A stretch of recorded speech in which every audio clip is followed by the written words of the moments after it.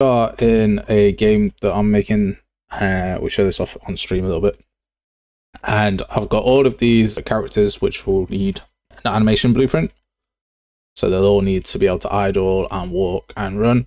But I don't want to make 21 different animation blueprints for all of these characters. I want to make one animation blueprint and use it on all of them, like quite simply.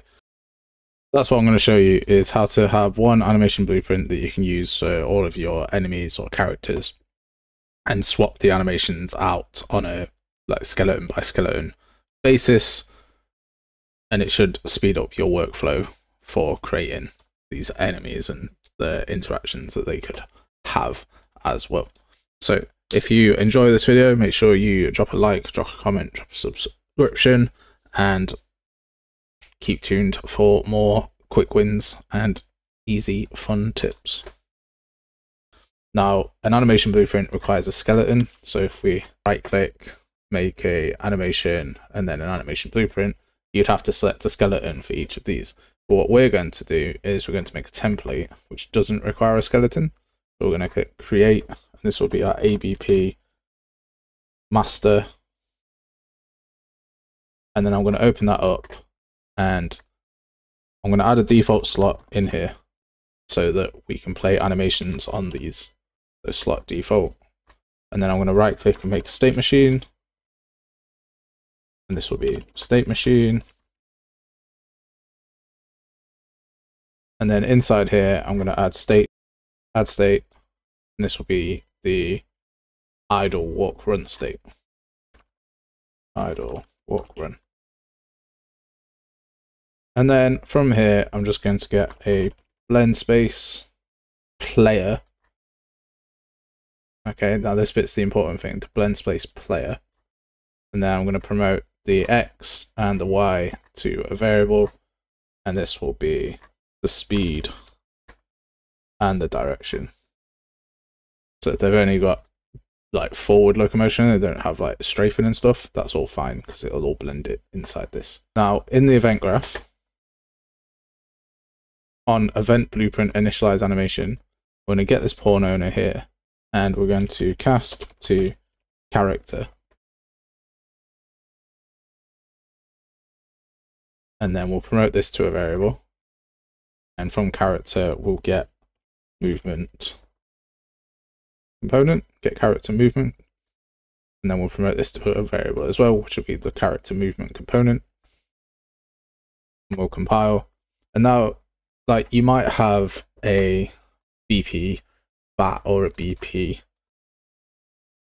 there. So I've got like bat, bear, and boar, all these different blueprints and I don't need to cast all of them. I just need to cast to the character because the only thing I'm interested in is on this update animation. So I'll get our character and I'm going to right click it because the only thing I'm interested in is the speed and the direction that it's moving and maybe if it's falling. So if you wanted to add jumps to them as well, then you could just drag off here and add a jump. In fact, what we'll do is this that's how you set up a blend space. I'm going to set up one more. So I'm going to add a state and this will just be idle on its own. Just to show you how to do uh, just a normal loop.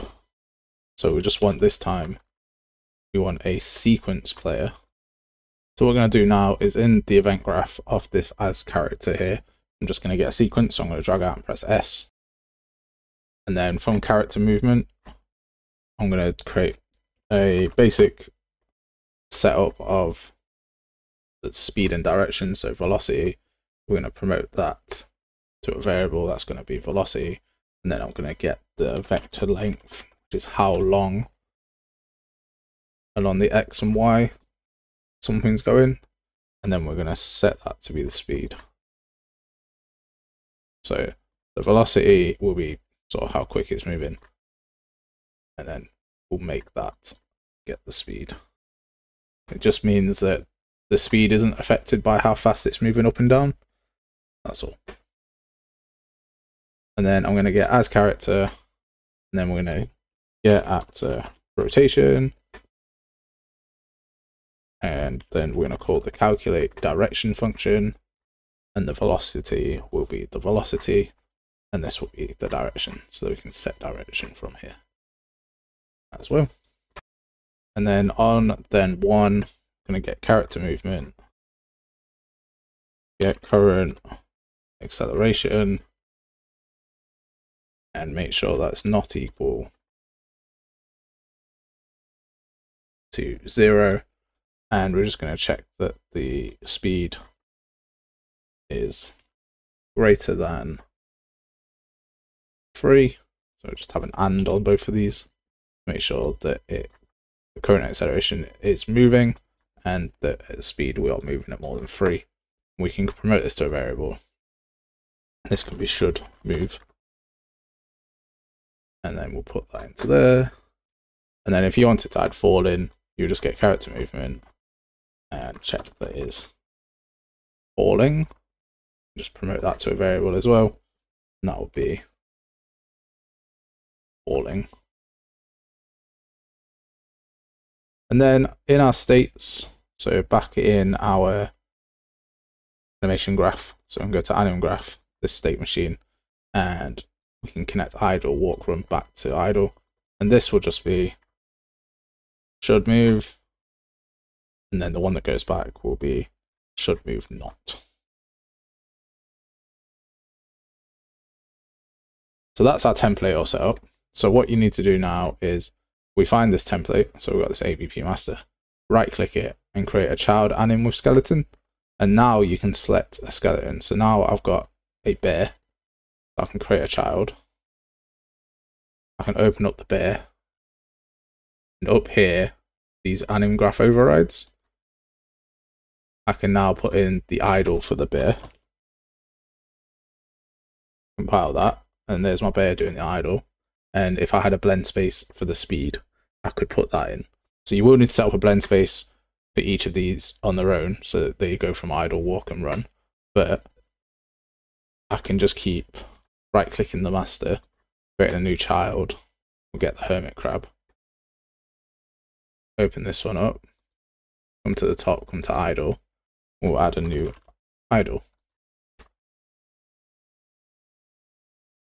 That just takes away a lot of the repetitive nature of building these animation blueprints. And you know that if you actually add something to this master then all of these children will inherit it as well.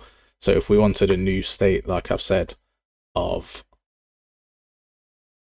like jumping or something so we'll just open the state machine and we would add the jump state here and the falling state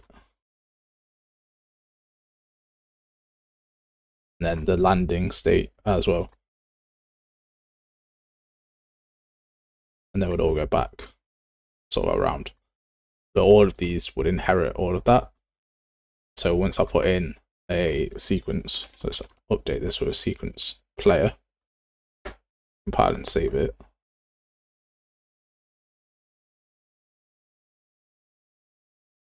We'll get this now jump part as well. So every time I put something new in here, we can just update it. And if we wanted to, on this ABP master in the event graph, we could set this up to go straight to our enemy and we can inherit all of those functions and special functions for our enemies so they can all just take all of the code without having to do much and have their own custom set up so for animations and blend spaces and stuff. So it's a really powerful tool, the template ABP alongside the animation graph overrides and I hope you've learned something from that. So we've now got two members on our channel. We have the original dev Danny Diggs making his PS1 inspired game. Go check him out. It looks absolutely awesome. Doing some procedural animations for that as well. Absolutely fantastic work there. And then we have Imagine Bravery as well, who joins us again. Thank you for the super thanks, Imagine Bravery. That was wonderful of you. And thanks for joining us on this journey as a member. They are working on a RPG type game. I'll leave a link to their channel in the description. Go check them out. Thank you very much, both of you, for all the support, and thank you everyone for the support. If you want to become a member of the YouTube, then click that join button. They're nice and cheap. We do shout outs, and I appreciate all of the support. Thank you very much. Have a great day.